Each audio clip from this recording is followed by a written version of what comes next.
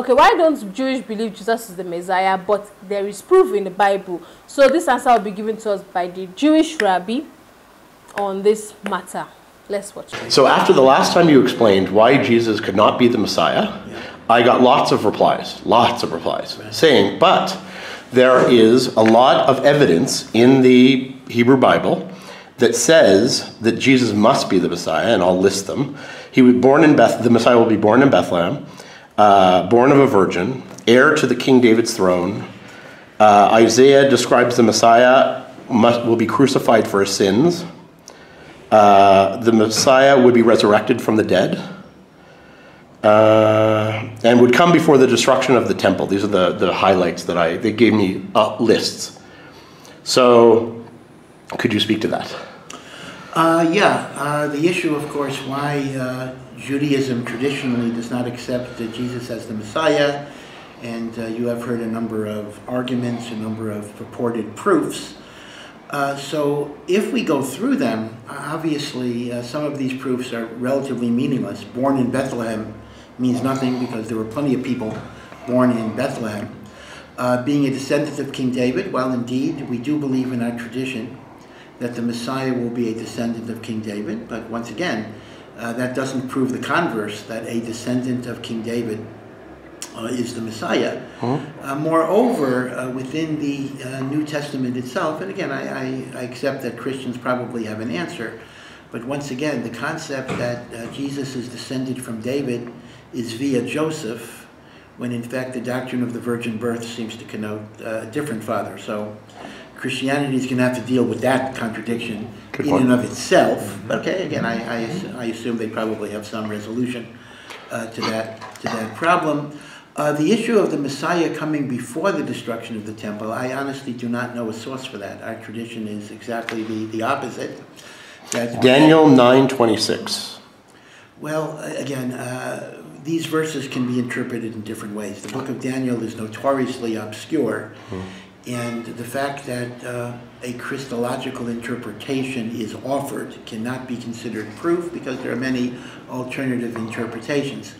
Now, uh, the general messianic uh, redemption that's described both in the Hebrew Bible and in the Talmud uh, does suggest the opposite, that there will be a galut, which means a, uh, an exile, there will be a destruction, and the Messiah will come and be God's agent for redemption and for rebuilding the, the, the temple.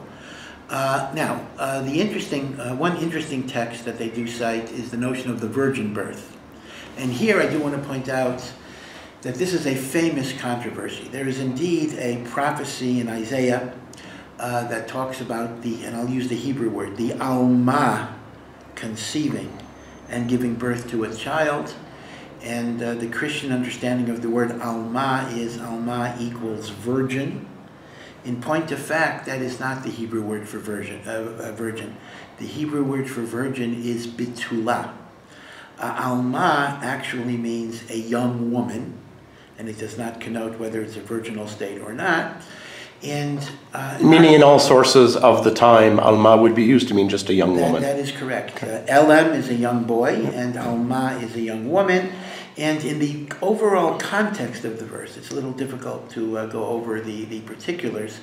It is not referring to Messiah at all. It is not even a messianic prophecy. Oh. It is a prophecy regarding the birth of Hezekiah, Hezekiah, Chizkiyahu HaMelech, who was the dominant king in the time of Isaiah, who successfully deflected the Assyrian attack on Jerusalem. So he was a quasi-messianic figure but in fact it is not talking about either the virgin birth, nor is it even talking about the ultimate Messiah.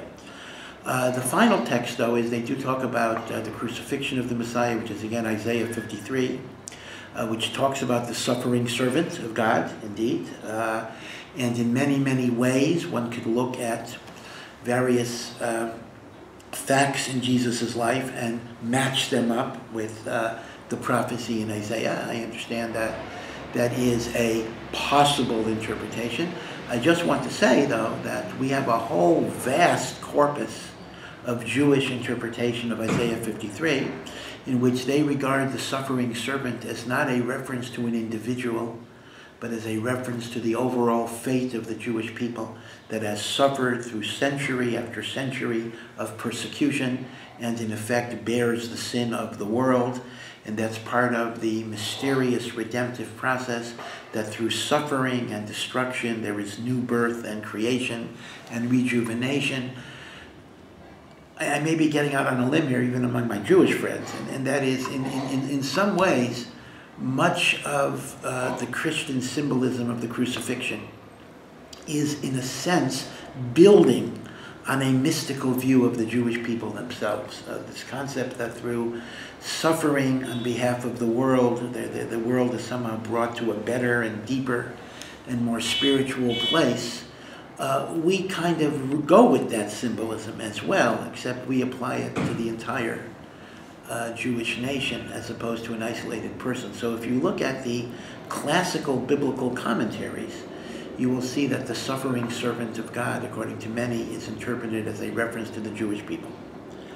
Uh, so, as I say, uh, a text cannot be a proof if there are multiple interpretations of a text. So, yes, if you interpret text A to mean X, then you can prove your proposition, but it doesn't have to mean X.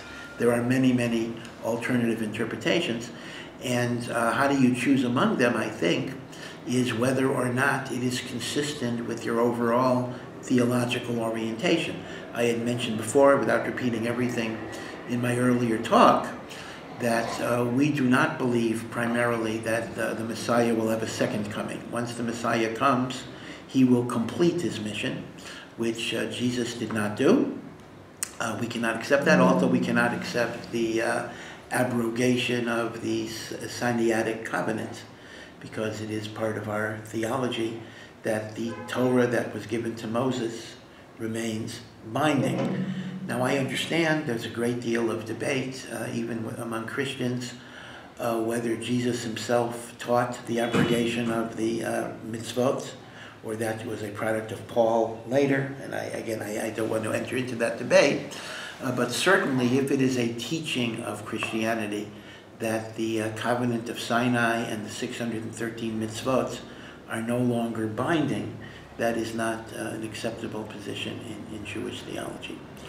Uh, again, perhaps going on thin ice, uh, Maimonides writes in a censored passage in his writing, it was taken out by Christian censors in the Middle Ages, that he saw both Christianity and Islam as being very worthwhile steps to wean the ancient world away from paganism and to give them a sense of morality and ethics, even if it didn't always play out that way.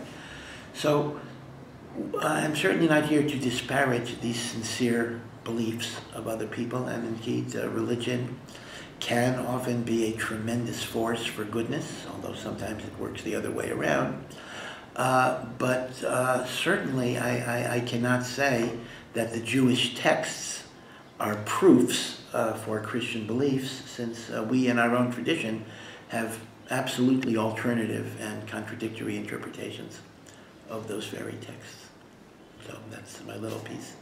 All right, so mm, I would say based on their own religion, you get it, based on their own religion, they do not believe Jesus is the Messiah. But when it comes to the Bible, is a proof.